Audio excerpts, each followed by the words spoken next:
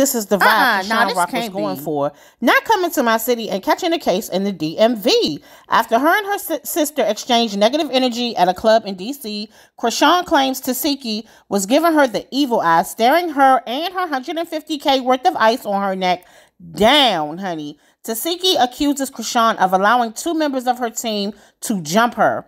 But Chrisean says she has reason to because, in her words, quote, you tried to backdoor me and I just got to you first, end quote.